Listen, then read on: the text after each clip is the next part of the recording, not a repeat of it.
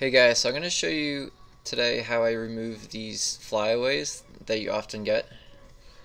And I'm going to show you two ways how I do it. One way might be better than the other, but it all kind of depends on the photo you're working with. But I'll show you the two ways. So first thing I'm going to do is just duplicate my background layer. And the first way is using this the healing brush tool. So I'll zoom in.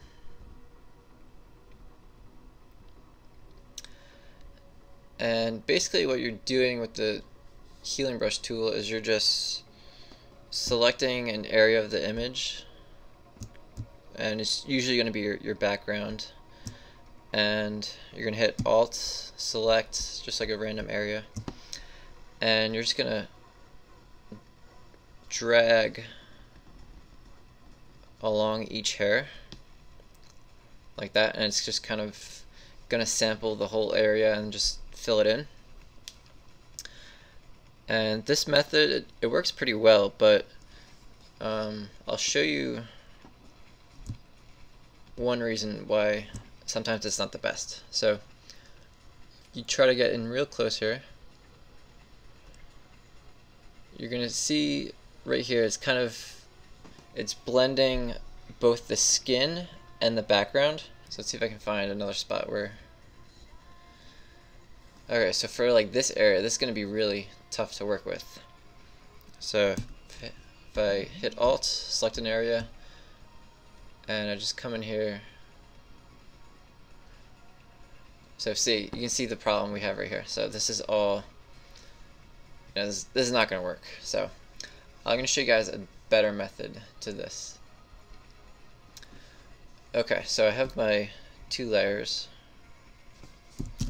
And what I'm going to do is I'm going to create, I'm going to add a filter to this. So I'm going to go up to filter, I'm going to add noise and then dust and scratches.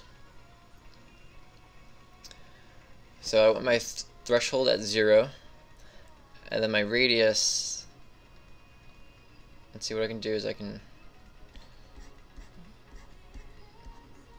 I'm to zoom in here to get a better, better view.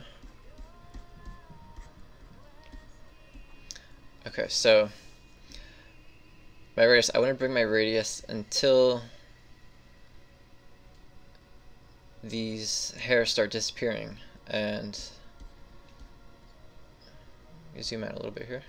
So I want it to be for every single hair. I just want to, you know, kind of go around, make sure every hair, you know, is, is taken out. So this looks about good. Maybe I'll just go just slightly more. 25. Okay. And I'll hit OK.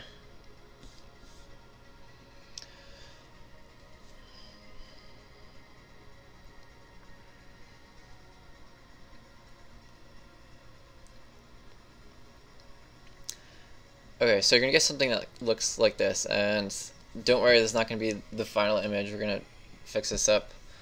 Um, but I'm gonna select this layer. I'm going to add a layer mask, and I'm just gonna fill this entire mask in with black.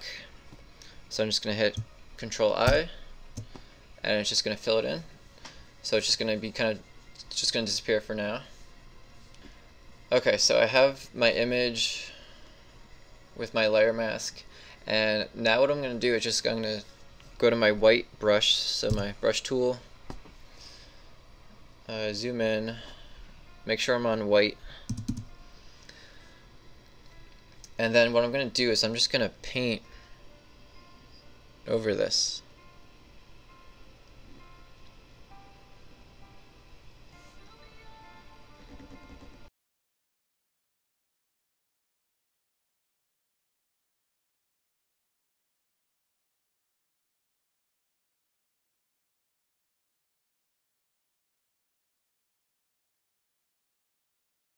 And if you mess up, you just, you know, go back to your, your black brush and you just paint over. Then you go back to your white and you can continue.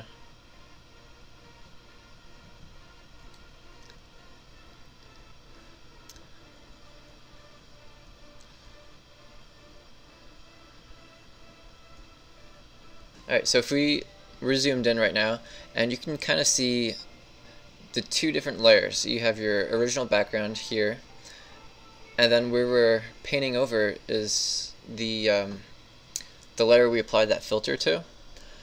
And you're going to notice it's a lot smoother than the actual background. And I'll show you how to, you know, kind of mitigate that effect at the end. Uh, basically, we're just going to apply like a grain to it, and it's just kind of, you know, bring it back to the normal background.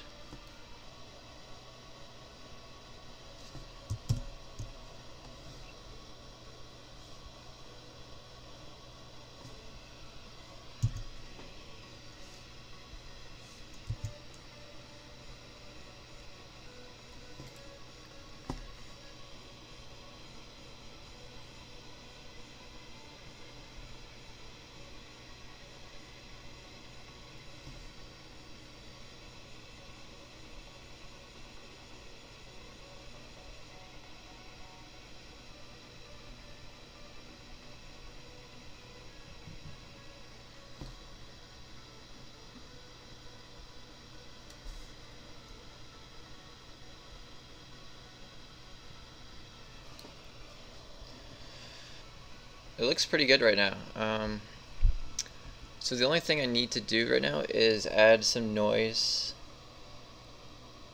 to the, um, the background copy.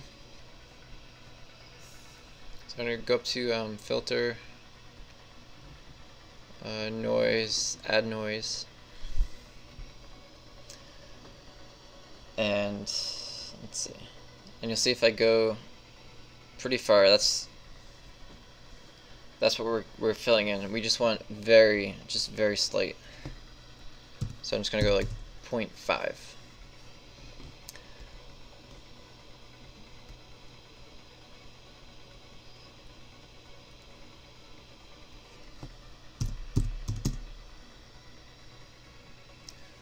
Okay, so if I zoom out, and you can't even can't even notice it.